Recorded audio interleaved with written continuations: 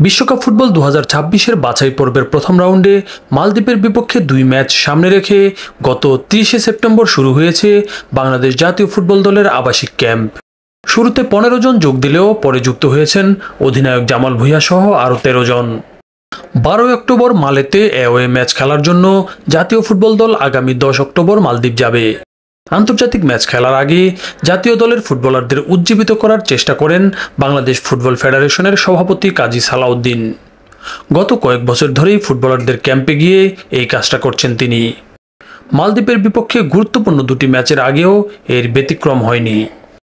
সাতই অক্টোবর ঢাকার খিলক্ষেতে বাংলাদেশ দলের হোটেলে ঘুরে এলেন বাফুফের সভাপতি কাজী সালাউদ্দিন। এই সময় তিনি আনুষ্ঠানিক সভায় বসেন ফুটবলারদের সঙ্গে। সেখানে তিনি মালদ্বীপের বিপক্ষে দুটি ম্যাচের গুরুত্ব তুলে ধরেন।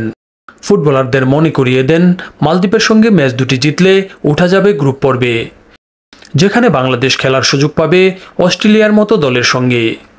বাংলাদেশের ফুটবলারদের সাম্প্রতিক পারফরমেন্সে সন্তোষ প্রকাশ করেন বাফুফে সভাপতি। শুধু গোলের সুযোগগুলো ঠিকমতো কাজে লাগাতে পারলেই ভালো ফল আসবে বলে আশা করেন তিনি। So that is all that is. I mean, I don't ask you to do it. Plus, big bonuses will wait for you when you come back. Okay? Talk for the bonus and you must win. Inshallah. Inshallah. We are all together. That is all I have to say. Thank you. Right?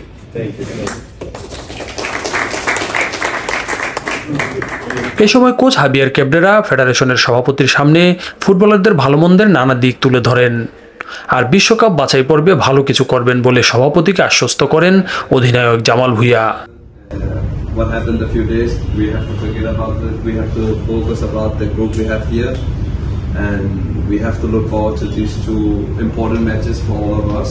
FIFA World Cup দু হাজার ছাব্বিশের qualifiers round একের away ম্যাচে আগামী বারোই October মালদ্বীপে এবং home match আগামী সতেরোই অক্টোবর ঢাকার বসুন্ধরা কিংস এরেনায় অনুষ্ঠিত হবে